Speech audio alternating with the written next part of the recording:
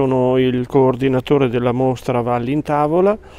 è un progetto fatto per valorizzare tutti quelli che sono i prodotti eh, di nuovo impianto o di, di, di, vecchia produzione delle nostre zone, delle valli Taro, Cenu, Baganza, tutto il territorio parmense. In pratica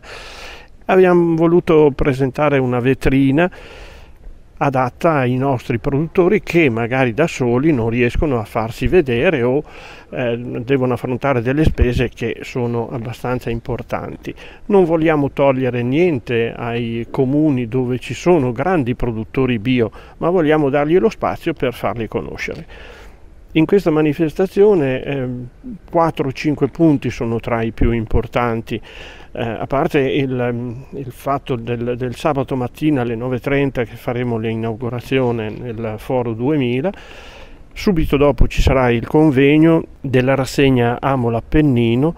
con un, un titolo Il mutamento climatico e la montagna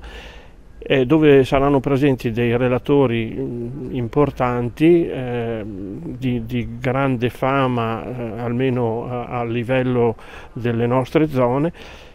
dove dibatteranno appunto per quello che è eh, il, la salvaguardia della montagna, il rispetto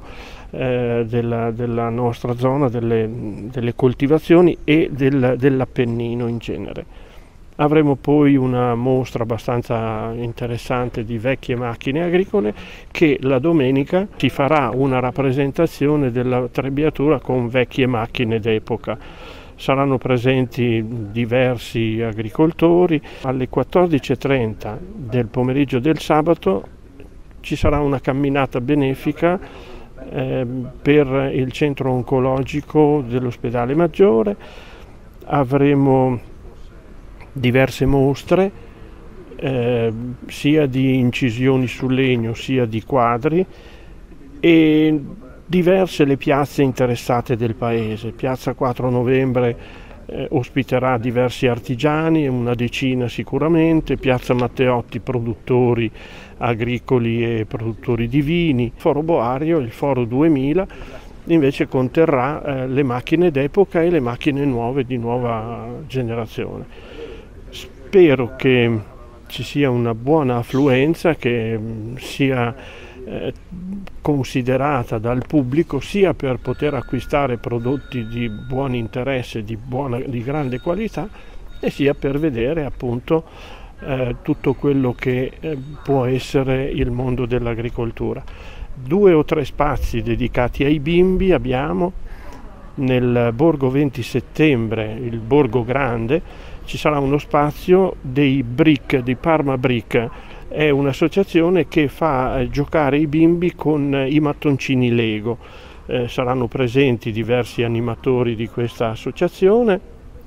per poter far giocare appunto i bimbi. Nel Foro 2000 avremo invece eh, il giardino delle birbe, il giardino delle farfalle e degli insetti. Eh, ci saranno farfalle, insetti di piccole dimensioni che potranno i bimbi osservarli con microscopio, con lenti di ingrandimento e quindi giocare anche lì con eh, le nuove esperienze che potranno fare in questo spazio. Alle 16 il racconto dei sapori, una visita guidata della rassegna Sentieri Urbani eh, che si effettuerà appunto lungo le, le vie, le piazze del paese a cura dello IAT. Ringrazio l'amministrazione, il ehm, presidente della Proloco, il vicepresidente che è la, la colonna portante di tutto quello che può essere l'organizzazione logistica e grazie ai mezzi di, di, di diffusione che ci, danno, ci permettono di farci conoscere.